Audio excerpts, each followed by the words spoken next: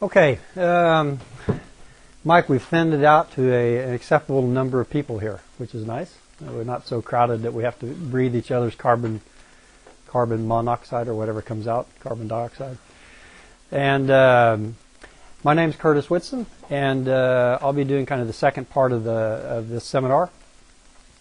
And Mike has uh, spent a lot of time on the real physics and engineering of of um, petroleum system, um, and introduced uh, through that simple problems that illustrate how Excel um, can be used to do optimization.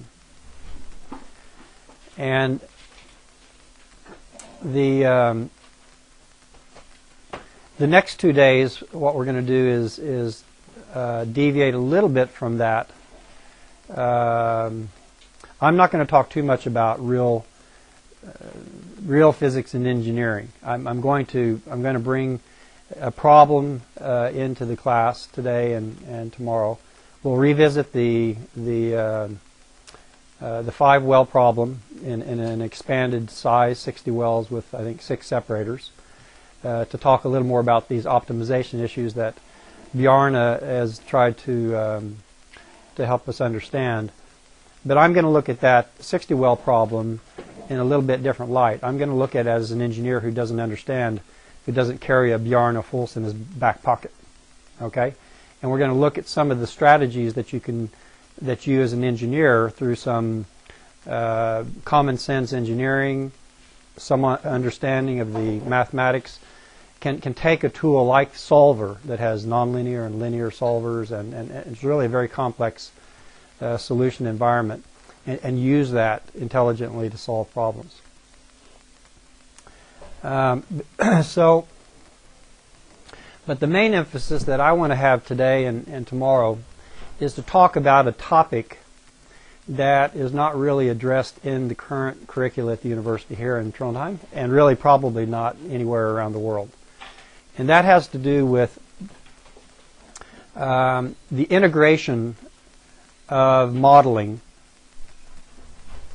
okay, the integration of modeling in a upstream to downstream in, uh, petroleum environment, meaning that today uh, the students here, third year, decide that they want to be a reservoir engineer, a production engineer, a drilling engineer, and if you're in chemical engineering, you become a process engineer, and you basically spend the rest of your life doing reservoir engineering, at least until the company says that now you're a production engineer, you have to do production engineering. Okay?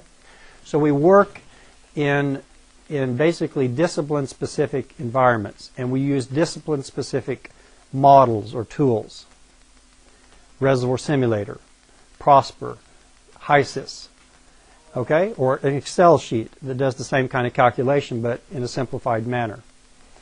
But what we generally do is that we we work on solving discipline specific problems and we become experts at that, okay? What I want to try to talk about is the idea of taking those models that these specialist groups build, okay? The reservoir engineers that have field A, and the reservoir engineers that have field B, and the reservoir engineers that have field C. To take those three models for reservoirs A, B, and C, which are separate data sets, they could even be separate reservoir simulators, okay? And to get those three reservoir engineering groups to actually interact and work together, not in a team building environment, not in a seminar, not in the mountains of Norway, not on a boat, but where they're actually their three models A, B, and C are running simultaneously in a computational environment where if there is interaction between reservoirs A, B, and C models, that you feel that interaction and there, there's some communication of the three models as, as you're simulating the different three reservoirs. That, in fact, is done very, very seldom today in today's environment. And that's typically because the reservoir A model takes three hours or 30 hours to run. A single case. And the complications and the the slowdown is not that if each model takes 10 hours to run and you run them three, you say, I've got three processors, I'll run them at the same time. It takes 10 hours. It's not that simple because the orchestration of getting those three models to run simultaneously and to interact is not something that's basically done today in the industry. And that's integration of just the reservoir discipline. Okay? Just the reservoir discipline. These guys and gals, they can talk to each other. They're probably using the same reservoir simulator. They, they, they understand each other. They probably even play volleyball together. Okay? But, but they don't do this integration of their models. And the question is why not? And if, if they're going to do it, what are the requirements to do that? So, so that's integration in a sense at a given discipline. But what we're talking about, and we're going to try to talk about here and, and, and today and tomorrow, is the integration not just, what would you call that, at one discipline, but to integrate the various disciplines. The reservoir engineers are passing streams of gas, oil, water, maybe methane concentrations in kilo, kilo, kilomoles per, per, per day, passing that downstream. And those streams are passing through what? Pipelines right? Through pipelines. And the pipeline engineers, uh, of course, pipeline engineering in the design phase, they do lots and lots of simulations for different cases. Once they put the pipelines into the into the field development, they need, may become fixed, and the only thing that you can alter as a function of time is what Mike talked about yesterday, the routing. Okay, you may have some flexibility on the routing. But the modeling of the pipeline system is directly affected by what these three different reservoirs is passing into the pipeline as a function of time. Okay, and if you change the routing, it's going to change the pressure drops in the various pipelines and gathering systems. And then you get the pipelines delivering the gas, oil, and water where? To the process facilities. There might be six in a field, there might be one major one, there might be two or three. There might be many different processing facilities. Local, and then maybe field wide. And all of those calculations that, that if you took my course, the flash calculations to do the separator, uh, the separator calculations to take compositional streams and break it into various products, that has to be done by a model, a HYSYS model, an Excel flash calculation model, uh, or some other model. Okay, and it requires an equation of state or a k value, correlation, to create the products. And then once we get the products, what do we do with the products? Okay, we put those products in a new pipe set of pipelines, or we might transport it off, and it ships off to a refinery. Okay, or the transport goes somewhere else, or maybe some of the gas is being reinjected. Okay, into the reservoir. So you get a, a feedback, uh, a looping feedback that what's produced from the reservoir, processed from the reservoir, is then sent back into the reservoir and the composition of that gas, you don't know that in the reservoir simulation model unless you put a processing facility in the reservoir simulator. And the processing capabilities in a reservoir simulator varies from a very simplistic, you know, multi-stage separator uh, to a few reservoir simulators that actually have quite complex surface processing capabilities. So the feedback from the process group to the reservoir group and, and so forth and so on. So it's the integration of these different models that are doing calculations for the different disciplines, but trying to do that orchestration of the modeling, the interaction of the models, the influence of the results of one model on another model, and so forth. That's the topic of what, what I want to try to talk about today. Because we don't do that kind of integrated modeling in, in the industry. Okay? Now, one of the reasons is the computational requirements. The other reason is this the communication between the models. There's not a clear communication line of how to send data from one model to the next model. They use different formats, different file, different uh, protocols for getting the information. They need different information. What one model gives is not adequate to generate the next model uh, launch. So you have all sorts of uh, problems and issues related to integration of models. And we'll try to talk about some of those. um, issues. We're not going to solve all the problems here today, but we're going to at least start thinking about what are the challenges of integrating uh, models. Okay? Now, let's move on to the future where we're actually able to integrate some models. You know, the three reservoirs get together, they integrate the models, they get them to launch and march together. They integrate that together with the pipeline group models, you know, uh, whatever that might be, GAP. Okay? You get that to integrate with GAP, and then you get it to integrate with uh, the process uh, calculations of HYSYS. Let's say that we finally make it there, so we have an integrated model system. So then what do we do? Other than saying we, we, we finally did it. Okay? What do we do? Why did we do it? Okay, anybody suggestions about why we would actually want to integrate all these models together? Tack on at the end, converting the products that we create into value, okay, into dollars or crowns, okay? Because that's really what somebody finally at the end of the day in the oil company is going to look at. They're not going to look at all these other models that were used to create the value and the costs. They look at the bottom line, the bottom line, the net present value or whatever, rate of return. Okay? That's another model. That's the economic modeling. Okay? So what would be the natural question that you could try to solve with an integrated model system? Okay? I don't know. What, what would that be?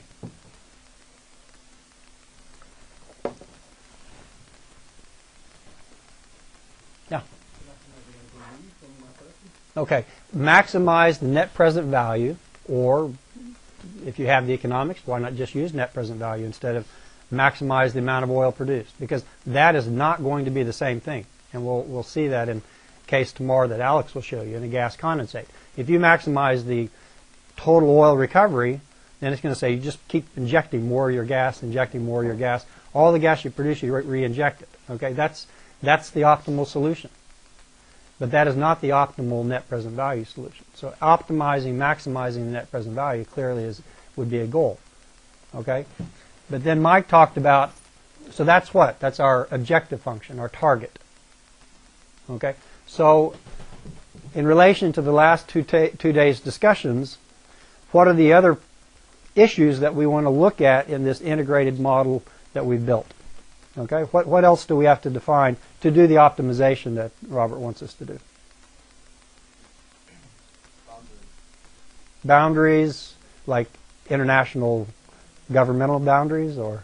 No, boundaries like what the well can deliver, what the separator can take, and all this has to be clearly defined in order to be able to create. Okay. Uh, try to take that a little bit. Um, try to take it, uh, put it into a little more specific terms. I mean, we've built, we've got the reservoirs, we've got wells, because we can't produce the reservoirs without the wells. So if we just take, and then we've got the pipelines, and we've got this. What do you mean by boundaries? When you, if we just pick a well, okay, what are the boundaries you're talking about for that well? Yeah, we boundaries are are for the for the next step important when a com a controller uses these integrated models in order to see it with different then the controller has to know which boundaries are there in order to get.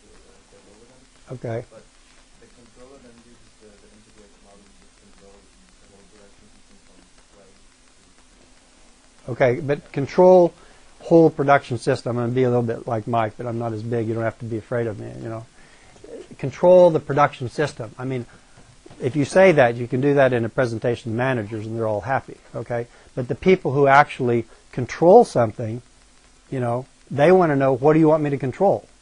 Okay, the driller, Okay, the driller has control over drilling wells. Okay, well, what is it you want to control about the drilling of wells that might affect the net present value?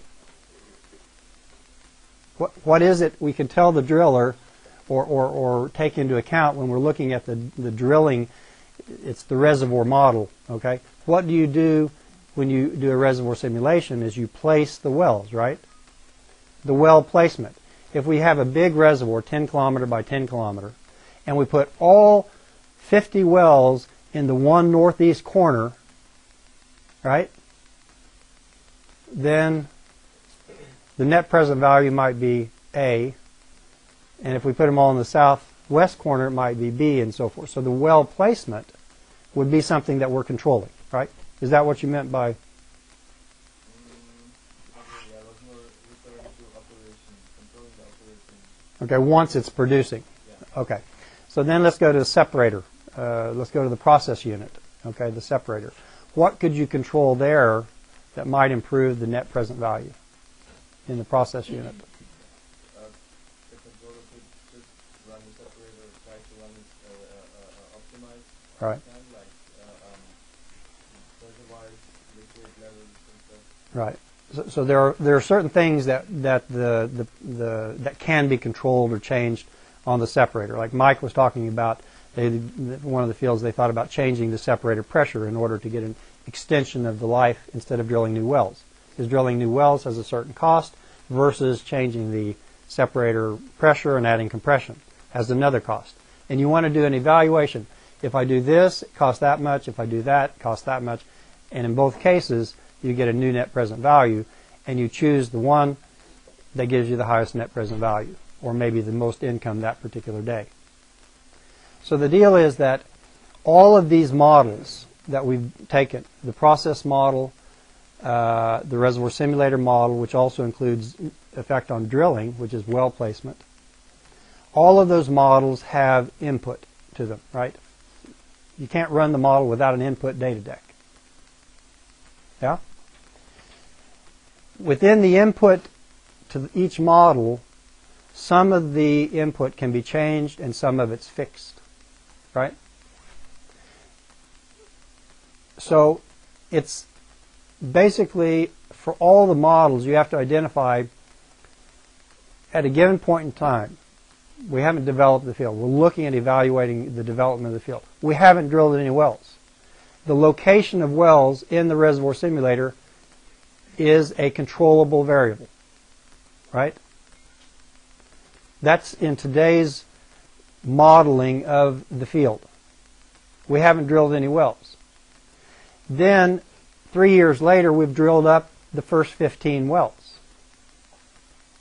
Now, when we do integrated modeling, those 15 well locations, they can't be changed. They're now fixed. You could change the tubing size in those 15 wells. You know, you'd have a cost to change the tubing size, and you'd have an impact on the net present value. So you, you get these control, what I call control variables. They're basically numbers in the models which represent something that we can actually change or do in the field. Okay? We can actually change the separator pressure, but it costs so much money. So every variable change that you make will have probably an impact on the revenue. Yeah? But it also has a what associated with it? If we change the separator pressure, what's associated with that? Huh? Yeah, the rates will change, and you'll get uh, more gas, oil, NGLs, water, etc. But we're looking at the, the net present value of this. So we're looking all the way downstream. So we change the separator conditions. We don't change anything else. And, and let's say we get more oil and gas. We get more revenue. Okay? So that affects in a positive way the net present value. But what at the same time was associated with that change in separator pressure?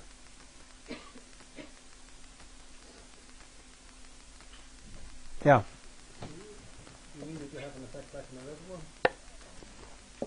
Well, because it's an integrated model, if you change the separator pressure, then it might change the, the tubing uh, constraint pressures in the model, and that affects the reservoir performance.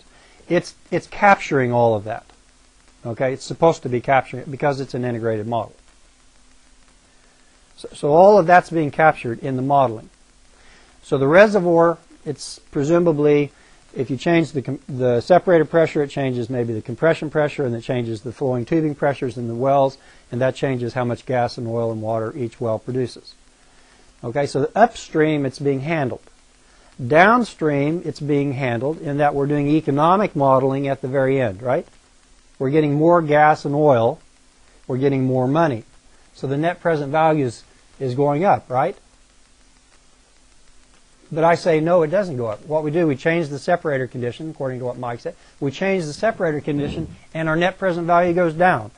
What happened? I'm getting more oil and gas production. I'm making more money. So why doesn't it have a positive effect on the net present value?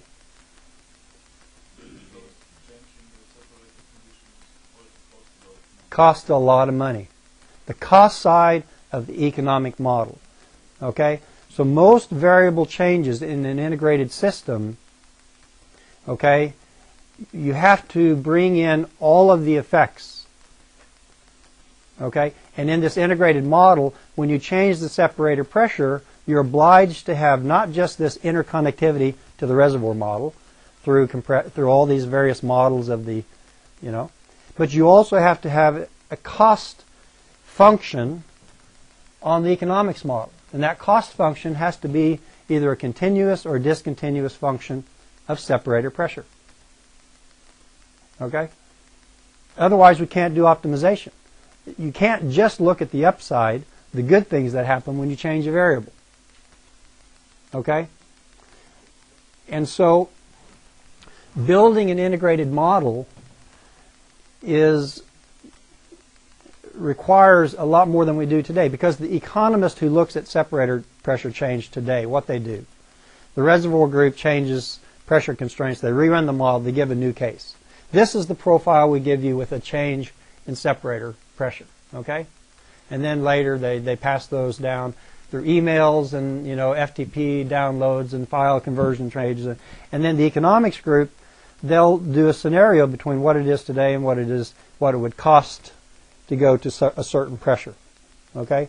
So they they have that cost built into the evaluation and they come back and they say this is a no-go. We can't afford to do that change in the separator conditions because it requires new compression, it requires new piping, it requires you know this and that and all these costs together don't balance uh, it's easier to drill three new wells. It's less expensive. They do all of that and the reservoir engineer doesn't know anything about what the economist is doing. Okay? But if you integrate this model together, and you actually want to launch the model from the reservoir all the way to the economics, then in that integrated model, the economics group has to make available to this integrated, in their economics model, they have to have a dependency, a functional dependency of cost to separator pressure change. And if they don't, the integrated model means nothing. It's not an integrated model. People don't do that today. The economists, they'll run case A and they'll run case B and, you know, and then they'll say, well, you know, yes or no. They don't look for a different separator pressure that might in fact be the most economic uh, change in the system.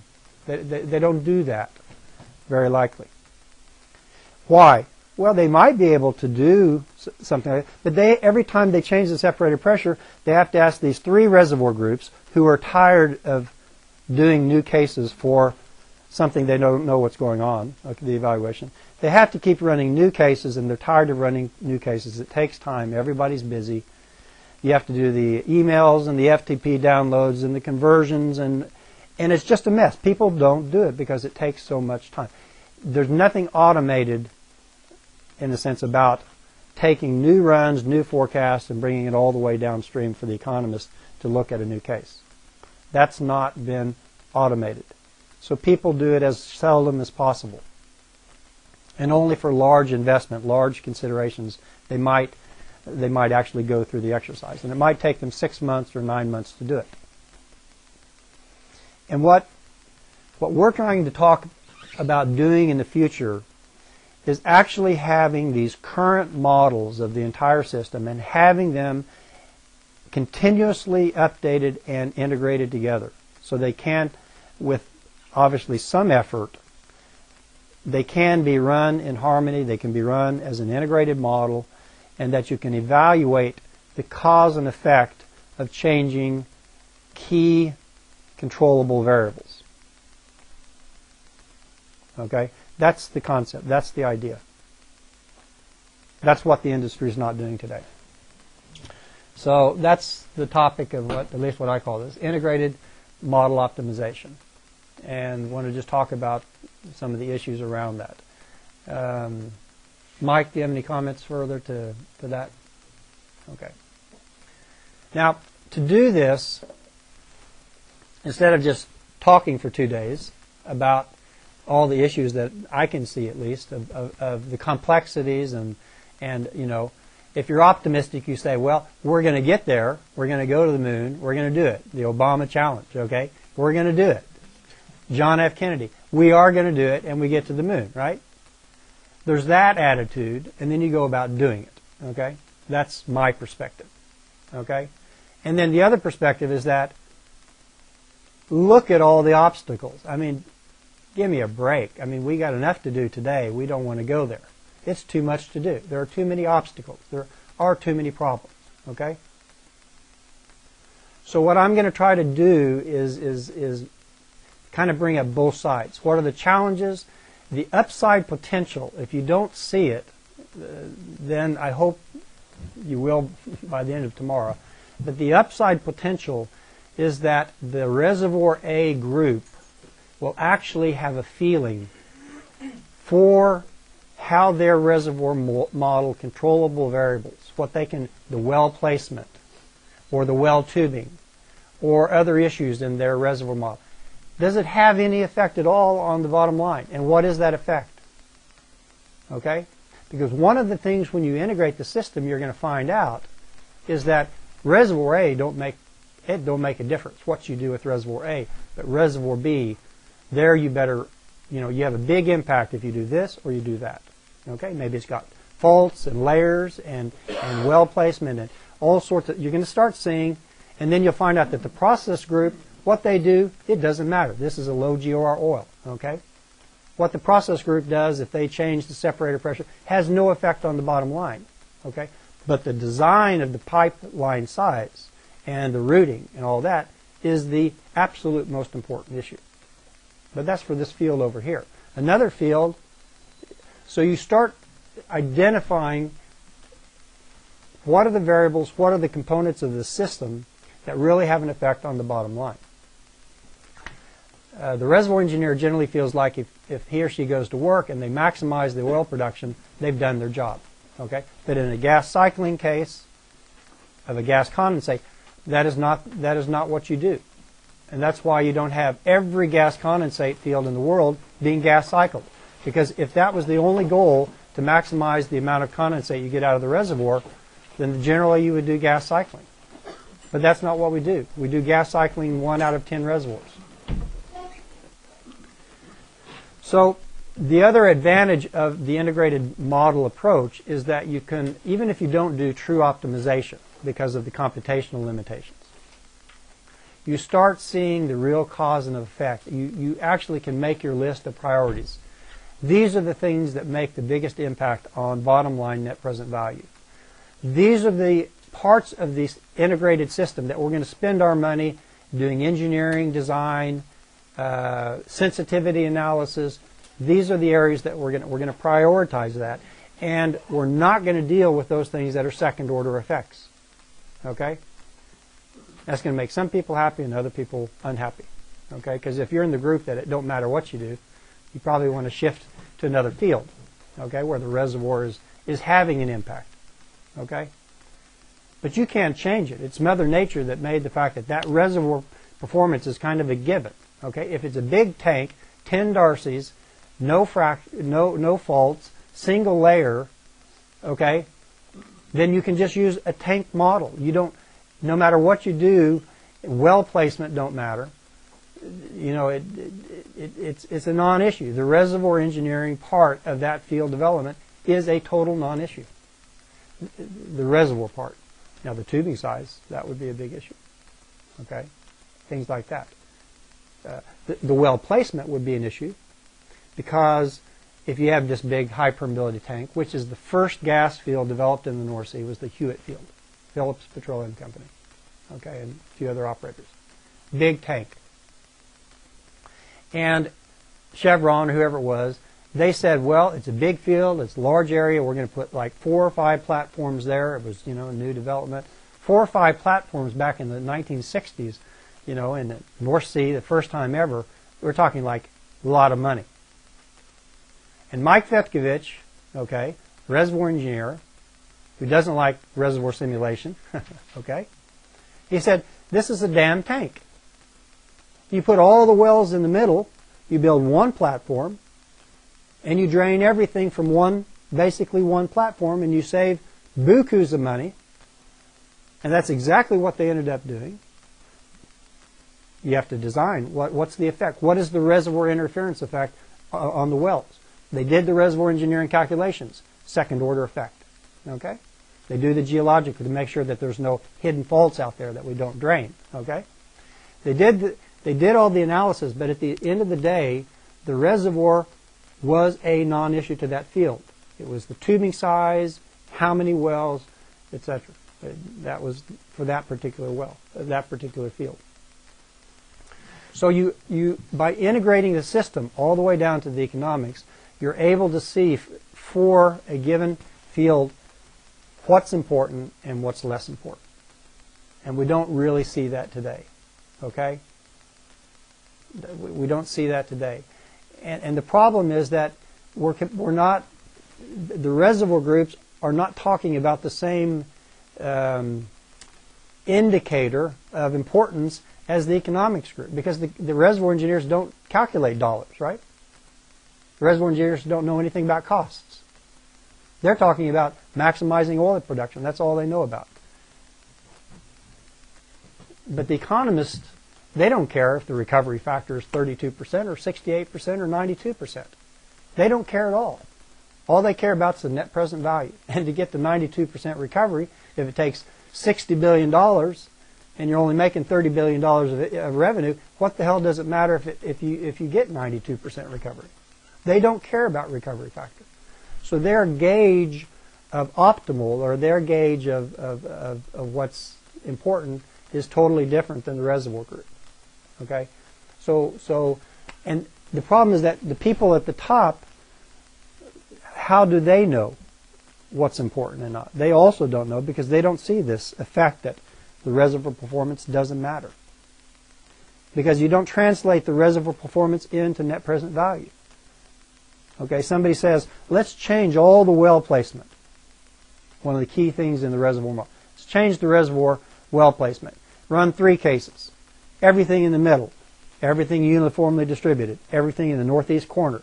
Okay? And if the net present value changes less than 1% for those three cases, what does it tell you? Okay? But they don't do that kind of analysis today.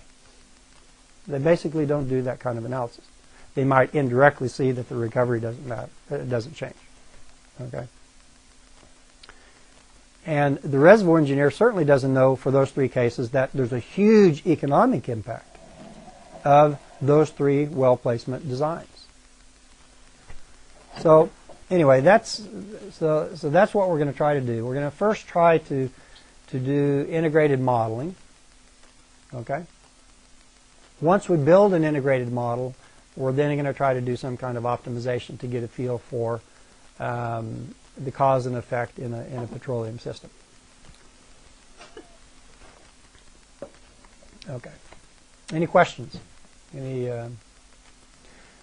Now, one of the things that you'll quickly find out is that if the reservoir models, three of them, are all taking 10 hours per case to run, okay, and I work with reservoir models that are even more complicated because we do compositional simulation. They might take three days to run.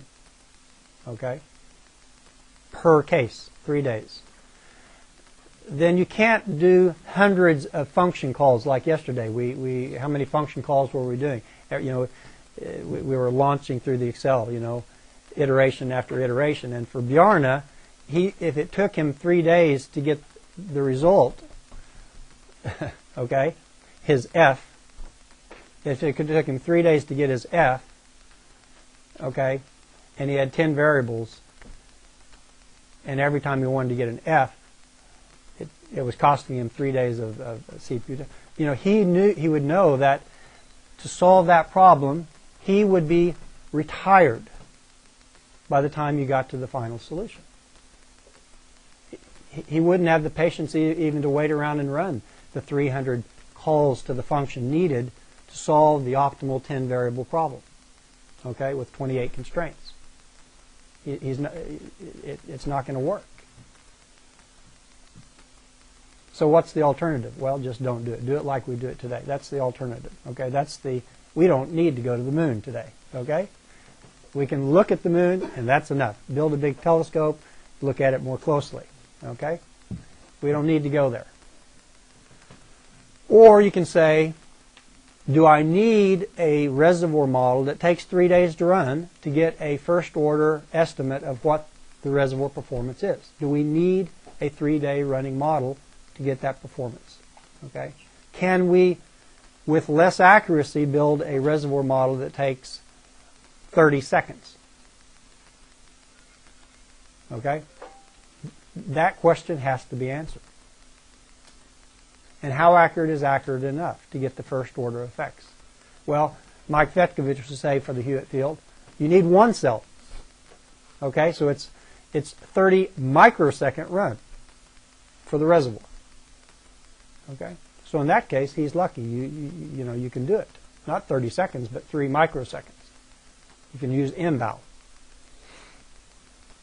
But in other cases, it might you not might not be able to bring it to 30 seconds, but you probably can bring it to 30 to, to 30 minutes, maybe three minutes.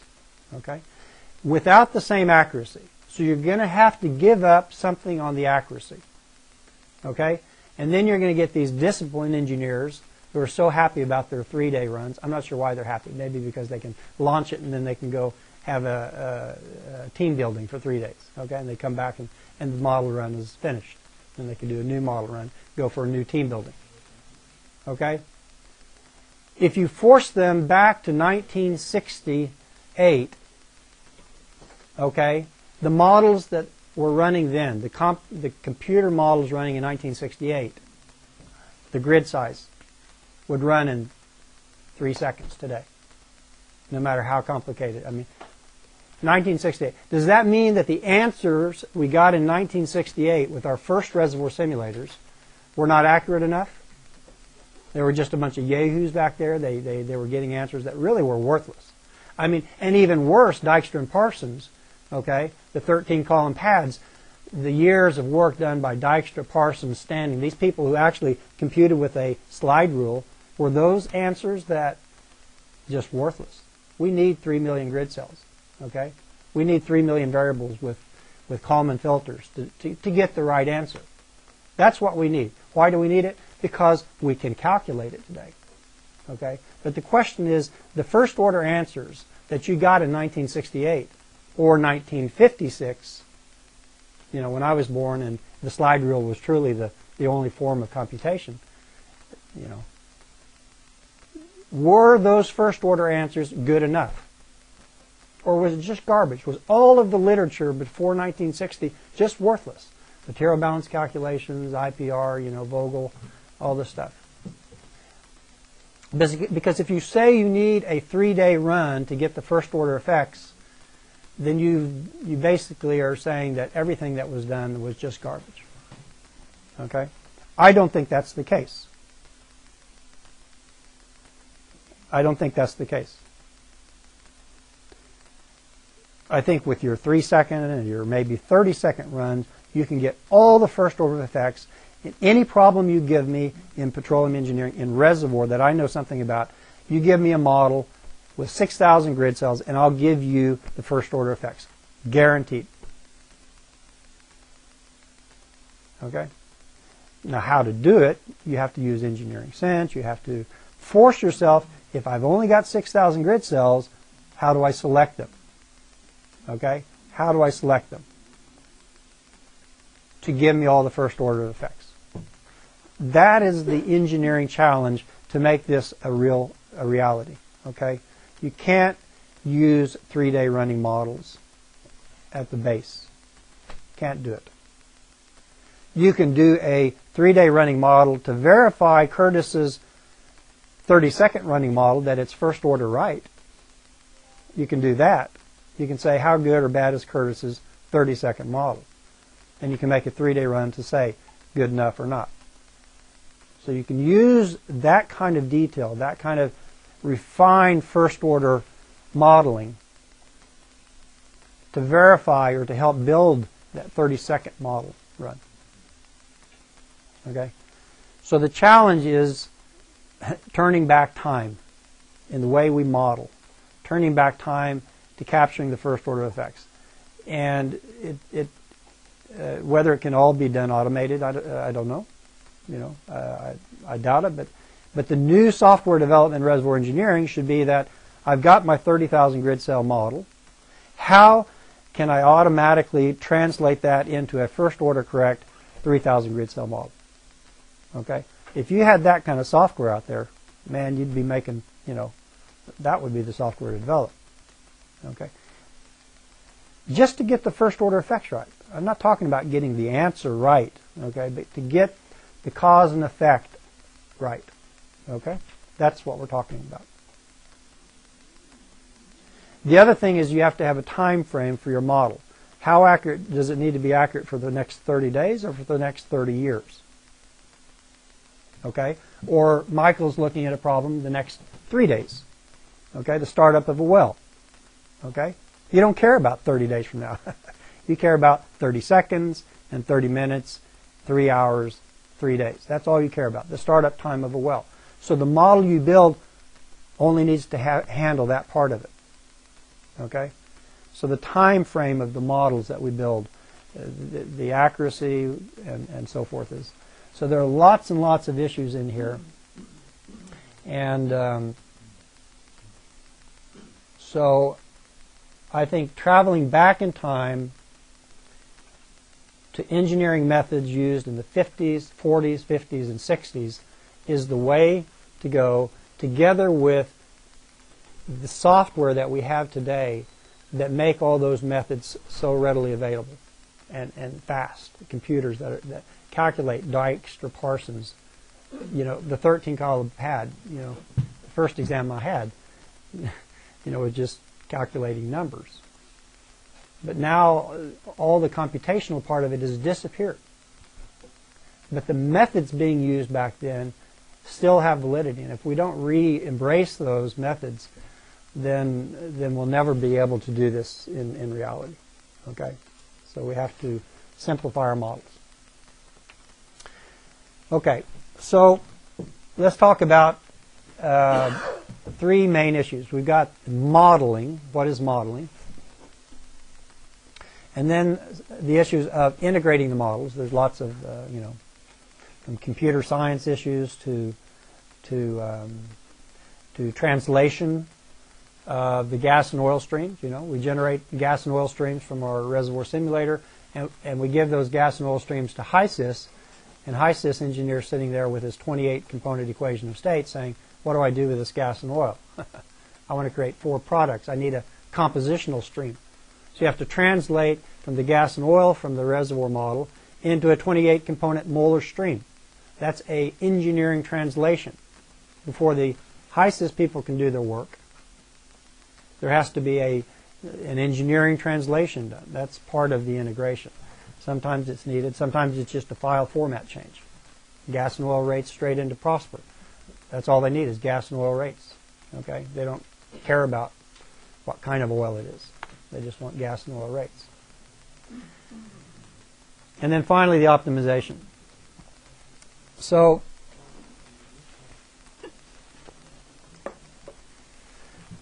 so what I'm going to call model, and Mike, I think uh, maybe um, will argue that there are other names that are better. But what I call a model. It's some kind of mathematical representation uh, of a physical process. Okay? That's what I'm talking about a model, is that you have an equation or a table, you have some mathematical representation. There have to be numbers. That's the main thing. Okay? There have to be numbers involved. And it's representing some physical process. And then it has to be implemented in the computer because that's what we're using here is computers. And in any such model, there are going to be parameters um, that will define a particular case that you're looking at. Um, simulator is another term I think, Mike, that you maybe thought was more appropriate, more, more consistent with. Uh, um, but I think we don't need to get caught up in the semantics. We're just talking about some kind of mathematical model describing a, a real process. And in that model, there are parameters. And if you change the parameters, you get a different result. Okay? Darcy equation, that's a, a model of flow through porous media. And the parameters are permeability and viscosity. Okay? Pressure, um, length. So the types of models that are out there that we can make use of are, are purely theoretical models, um, first principle models, um, ideal gas law for certain conditions would be considered. I mean, it's it's let's say near exact. There's there's theoretical uh, basis for them, and then we have empirical, spelled in an interesting way. Empir. No, that's right, I guess. Empirical methods models. Um, Darcy's law is an empirical model. Okay, Darcy actually just found that uh, velocity through a piece of porous material was proportional with the pressure drop across that. You know, from the inflow to the outflow, and it was just proportional, linearly proportional. Uh, Darcy didn't know anything about permeability. He didn't even define permeability because he, he was always flowing water all he all he saw was that you just if you increased the rate to twice, then the pressure drop went twice. Okay, so that's empirical in the sense it's experimentally derived. Okay, um, you take observations and you make a correlation of those observations. The standing PVT correlations; those are empirical. Okay. Um, the the ARPS decline curve equations. Okay, ARPS was a guy in what the 1940s, Mike? Yeah. 42. Who, uh, you know, this was before reservoir simulators, and it was when you know the banker. You know, some guy come in, wanted to drill a well, and said, you know, I've got this much oil, and I, I think I'm going to have this much oil into the future. And they wanted to forecast into the future how the oil rate would decline in time and uh, you wanted to be able to do it quickly and preferably graphically because you didn't have com- computers or calculators. So this ARPS guy went to the archives and looked at all the production from wells and from fields, plotted it versus time, and then observed that when you know back then in the 30s and 40s, a lot of the fields would produce for constant because there were regulations. There was an over excess capacity and, and it would be constant for this. But when it went on decline, it went down. Okay? And then he fit uh, uh, three equation forms to the different uh, declines that he observed. Uh, exponential, uh, uh, hyperbolic, and and um, and um, I don't know what you call it, but basically three equations. Harmonic. Okay, not very many harmonic. It's basically hyperbolic and exponential. And with these different models, of which had basically uh, two parameters, uh, basically the exponential has one parameter, and the hyperbolic has two parameters. And with those one or two parameters, he could take any data from any historical field and, and, and fit the production decline from that field or from that well with wonderful accuracy. Okay? Why it went like that, the hyperbolic or the exponential, he didn't know and he didn't care, but it sure as hell fit the data. Okay? And then he wrote the paper, the bank started using it, and not until 1970s did Mike Fetkovich come along and say that this falls out if you take a material balance of, of, of an oil, an undersaturated oil, and an undersaturated oil Darcy equation, those are both kind of the ones empirical, uh, you know, constant compressibility expansion of an oil, that's not really empirical, that's thermodynamics, okay? And you, you put these two things together and you take the equations and, you, and you derive analytically, it's an exponential decline. So if you have an undersaturated oil, it's going to fall in exponential decline, period. Okay, that's, so he, gave uh, reasoning, physical reasoning, and if you took a different inflow performance equation, that's not straight line pressure, but it's pressure squared for gas, and uh, no longer constant compressibility, but a gas P over Z, you know, material balance. You put those together, you get a hyperbolic equation, and the one constant is is around 0.3. So, so basically, he moved it from the empirical to what you call theoretical. Gave theoretical basis for the empirical equation. He didn't change the equation. He said, yeah, the equations are just fine, but here are the physical quantities, and he gave equations that would allow you to calculate those two constants. Okay? From permeability, skin, volume, and, and he kind of he moved it in, in, a, in a different direction. He explained why it was the way it was. But it's still empirical, okay? It's based on observation. But he, he did more of a kind of a, a uh, okay. And then, um, not really in the same category because uh, uh, ARP's equation is an equation-based uh, uh, model. But if you have an explicit equation for something, that's great, okay? Because that can be computed in microseconds, right? There's no iteration maybe, and it's straight calculation. Okay, graphical. This is more difficult uh, to, to use in a, in a computing environment. Graphical can be translated to tables. Table lookup, linear interpolation, you're there. Okay? That's an alternative. You don't need an equation. In fact, uh, Vidar, who we ran off the first day of the first hour, uh, is a PhD student, he's doing all of this high level optimization, I mean, of very, very complicated problems in the Troll field, you know, the stuff we're talking about yesterday with the routing and, and complicated flow and pipe for gas, oil, and water and IPR and God knows what. And he translates it all into a bunch of linear table, table, linear interpolation, just a bunch of multidimensional tables. Everything. All the models are reduced to a bunch of tables. Interpolated linearly. And then he solves that problem in a very apparently fast, efficient, elegant way. Okay? Now the tables are maybe created by very complex models. So he's making an effort to replace the three day run that we don't want to have with a bunch of tables. Okay? In a sense. That, that's what of course his problem he's not looking over a 30 year horizon either, so but basically you've got um, graphical integer problems. Talked about that yesterday, um, and um, mixed integer also talked about that yesterday. Tabular, piecewise linear, and and then there's um, Mike. You might want to I think talk about this next slide. Um, I guess as, as I read it, you have models, yeah.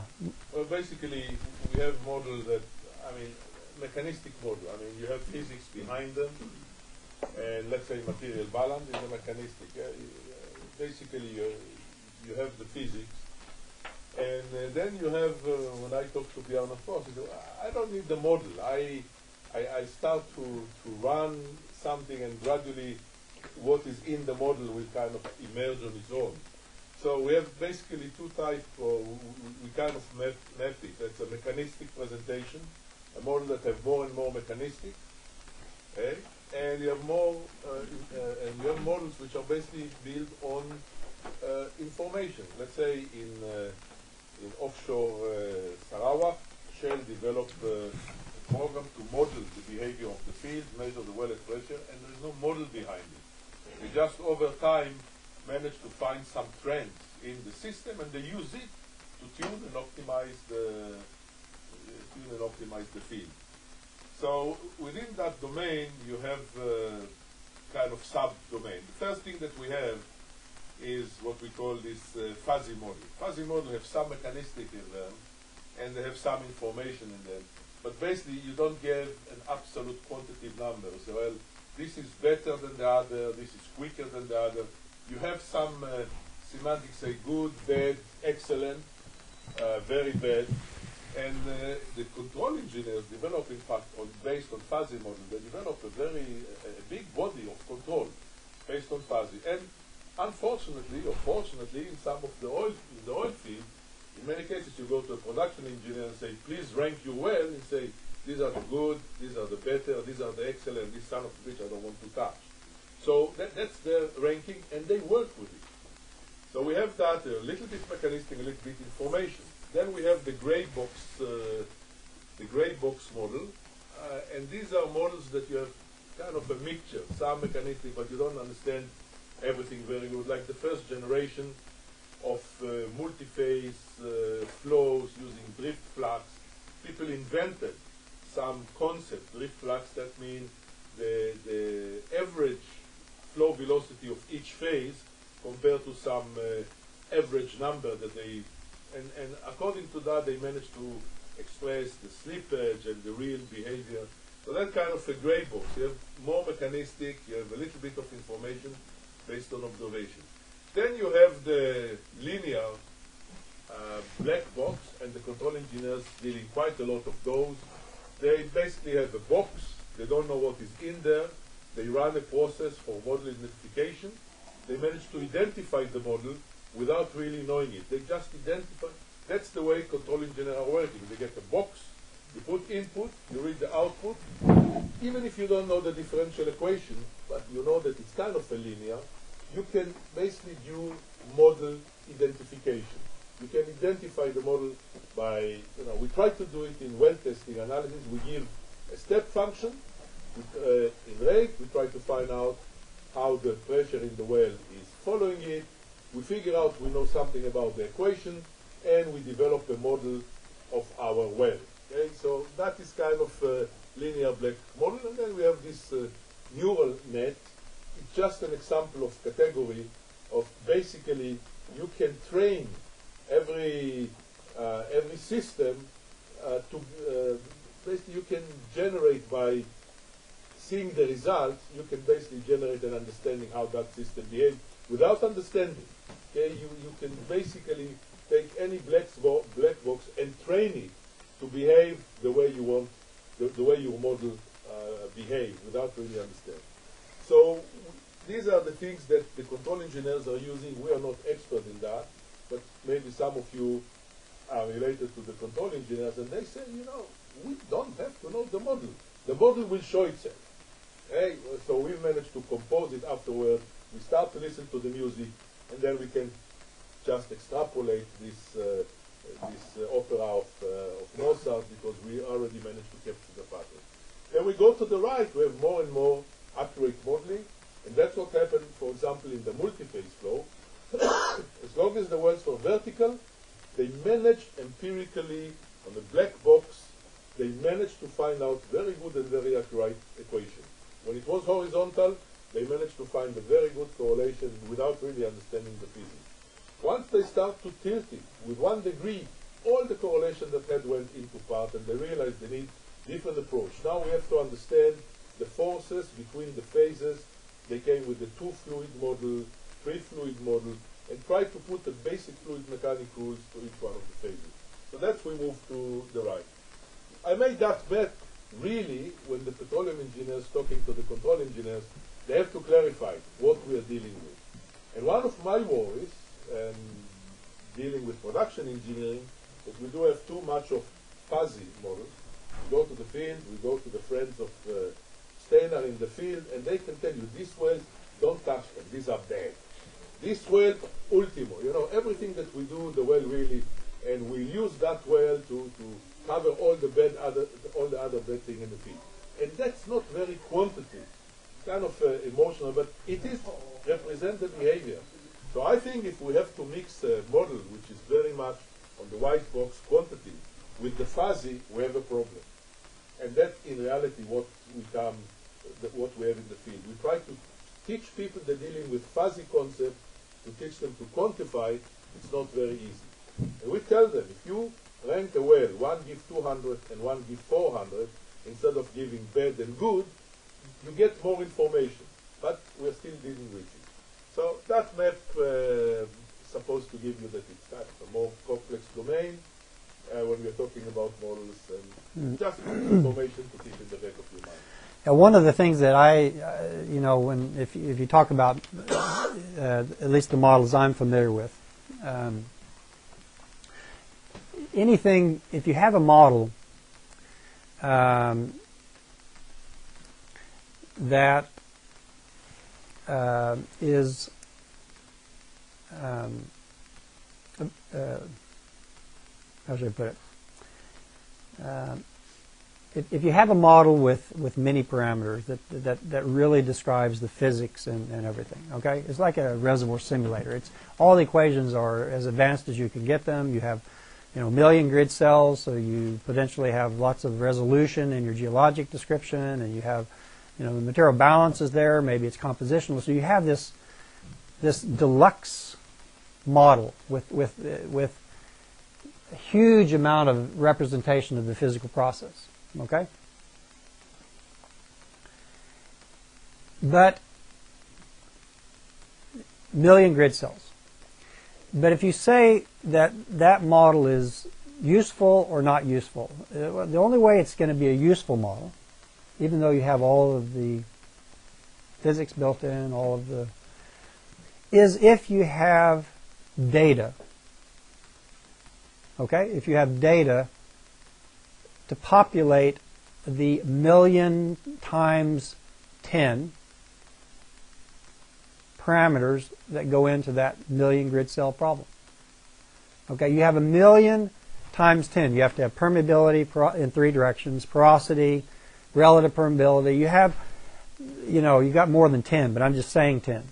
And you've got a million cells to fill, and you've got, for each cell, you've got to fill it with 10 numbers, or 100 numbers. Now, so in and of itself, uh, something far, far, far to the right, let's put it over here, but with no data, okay, little data, I would consider this a worthless model. Absolutely worthless. We agree? But if you take and you make all sorts of, you drill 600 wells and you do PLT logging and you do all of them, you put a staff of 300 to populate and to do all sorts of geologic studies and you do relative permeability, you do all these things, and then you move that model up by adding data, right? And refining the data. And then you put the wells on production. And you refine it even more based on not just static pre-production data, but you add more production data. So you, you crawl up this here, okay, and you finally reach here. There you have a model that's worth something. Now it may be at the end of the life of the field, okay, but let's say that you're 10 years into the field. You've done history matching everything. This model is valuable. Why is it valuable? Why? You see what we've done. You agree, Mike? We've got all the physics we could ever dream of. We've added uh, uh, static data. Here we start getting production data. Okay, this is static data. And we move up. So after 10 years, we're here. Now that model runs three, three days, you know, with a 60 processor computer. It's a million grid cells, compositional. What good is that model to us? Why, why do, what can we do with that model? I mean, what's its value to us? I mean, why did we even, why did we build it? Why did we spend all the money getting the data? History matching. For what purpose? What, what, what's the purpose? to predict the future, right? To predict the future. That's the only it's it's going into a realm of time, a realm of new wells being drilled, into a space, a time. Uh, it's going into a new space. It's extrapolation. Okay, that's what it's doing. It's extrapolating into time, and the comfort level of doing that extrapolation is high. I have a high comfort level with this model because of all of all of the physics being added, all of the data, refinement. So I have, in a sense, reduced the uncertainty of my forecast for the next 20 years, right? And in the context of what we're talking about here, the 20-year forecast can be done with such a model that costs us $60 million to build. It takes three days to run on a computer that costs $3 million. Okay? We have more certainty in our belief of that 20-year forecast than if we hire Mike Fetkovich to come in here and he'll do decline curve analysis forecasting for the next 20 years based on his experience level. Okay? Those are two alternatives. Okay? So all this model is providing to us is a means to forecast the future. Now the question is, do we need to run the 20, this model here that takes three days to run? Do we need, in the context of an integrated modeling system, do we need to actually run that model into the future? And how many times do we need to run it into the future? Okay? Can we run it into the future for 16 cases?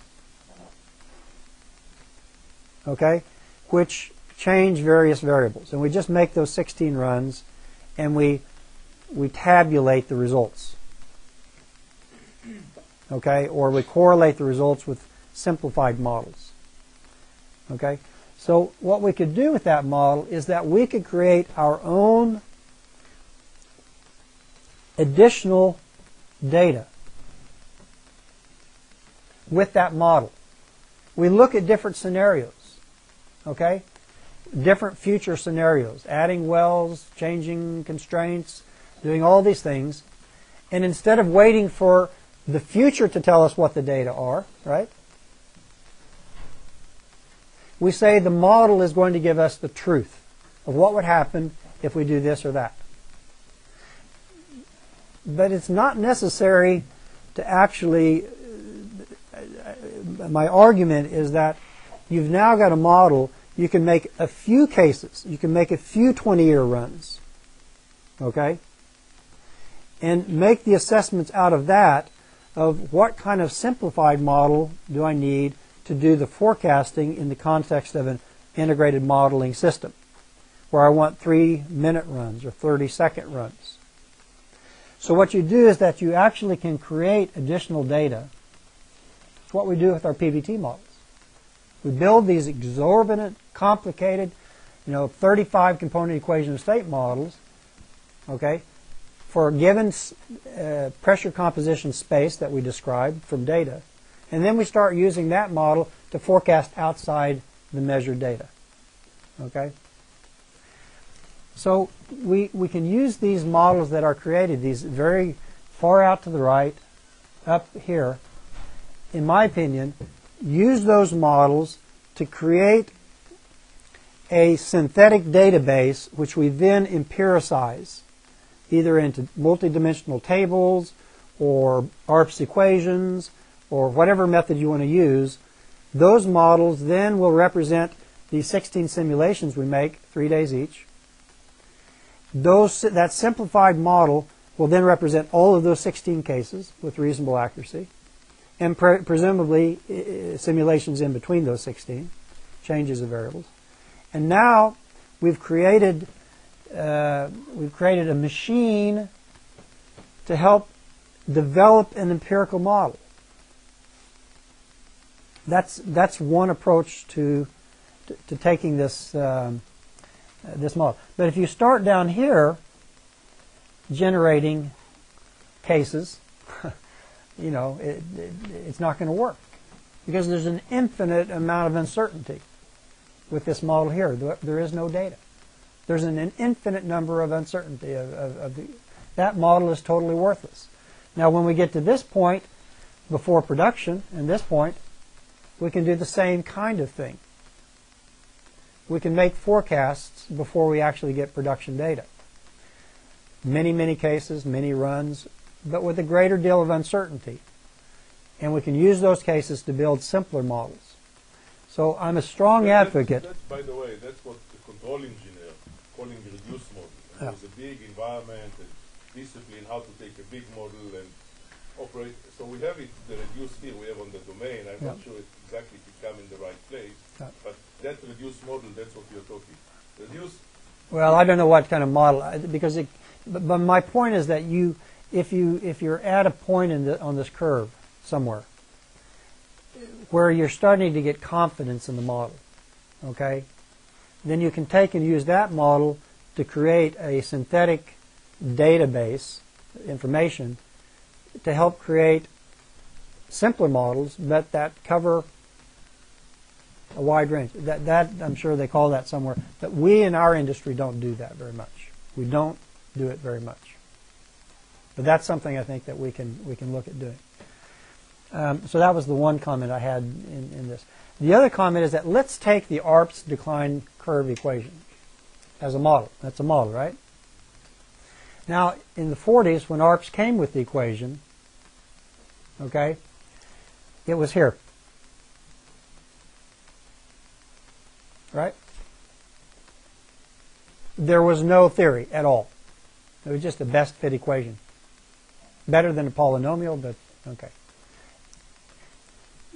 In this case, we had a high degree of comfort using that equation. The banks loaned a lot of money. okay? They loaned a lot of money based on this on this equation. Why? Because he, he was far, you know, the first day he started, he only had three fields and he, he kept building and he got more and more confidence in this equation, and that's where we ended up with ARPS. But then the question is, where does this move when Fetkovich explains why the ARPS equation is the way it is? Okay? It moves, I don't know, wherever you want to move it. It moves, basically he explained everything. I mean, I mean, I would say we move it very far over here. So this is the Fetkovich version of the same equation that ARPS proposed here. It's identical equation. Okay, it's an identical equation. it probably go into this compound parameters, you know, that's this Yeah. to the left, because this material balance is kind of a compound of a lot of 300,000 cells into one cell. Yeah, so it moves somewhere. I mean, the point is that this, th- what I'm saying is that the the value of that equation is identical, but in, in terms of its it's the same equation. I mean, you know, but now what you have built here through the Fetkovich is that there's two things. One, I have to change this so you can read it. One is confidence. Okay, and two, it's the ability to a priori time zero with static data only predict the the constants in the ARPS equation. Okay? So you can predict the equation constants. The old way the ARPS equation was used, you had to have historical data to fit it. You couldn't just say, "Oh, I've got this well, I'm going to just okay." You, you you couldn't do that. But what it allowed is that if you get static data like permeability, skin, volumes, and so forth, pre-production data, that you could actually calculate the ARPS constants from the Fetkovich equations. So it gave us an added confidence that there is some physics to it, that it, you know, and it, it gives us the ability to use the equation at an earlier stage in the life. So, still it's the same equation, the same model, but it's it's represented in two different positions here. Um, that was the, um, I think that was uh, the, the um,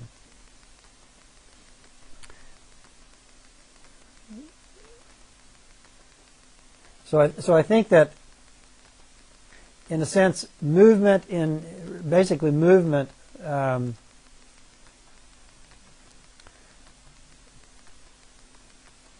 movement in this direction where there's data, okay, in general, gives us a model that can be used more accurately to predict the future. Okay? The more data you have.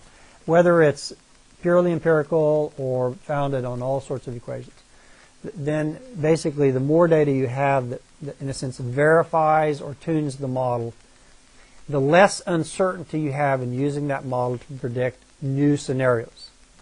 What we're talking about in integrated modeling is the ability to change things, look at new cases, and see what happens. So the more and more confidence you have in your model's ability to do that, the more you can rely on the results. So that's why data acquisition, using data to tune a model, uh, and so forth, is important. Okay? And if we're starting down here where we don't really have any data at all, of course the uncertainty is so large that uh, you know integrated modeling you can't do optimization. All you can do is sensitivity studies. You can change the reservoir volume a factor of 10, okay, because there's this hot spot on the seismic, okay, and the volume of the reservoir could be from 1 to 10 in size. So it becomes a sensitivity analysis, and you change the volume and you get different net present value, of course. That's not optimization. That's just statistical sensitivity. Okay? You drill the well, you get a permeability. Okay? One Darcy. Okay? Then you can start doing forecasts more reliably because you're not because now you know some petrophysical property. But of course, you realize there's a chance that the next 10 wells you drill could all have 100 millidarcy instead of that one. You got the one well that had a Darcy sand. So there's still uncertainty, but you're reducing the uncertainty as you move up in models that are based on more and more data. And that, of course, is, is important, reducing uncertainty.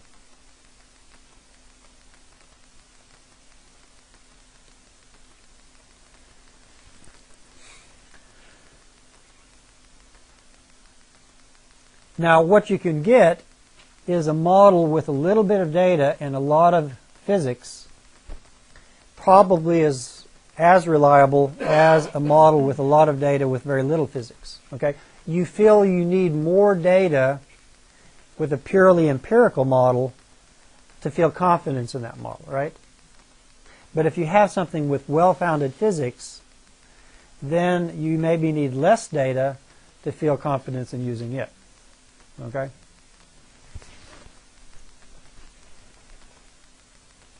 Okay, that's that's all the, the comments I, I think I had on this on this kind of. Uh... Okay, I think we take a break now, and then um, But the memory stick?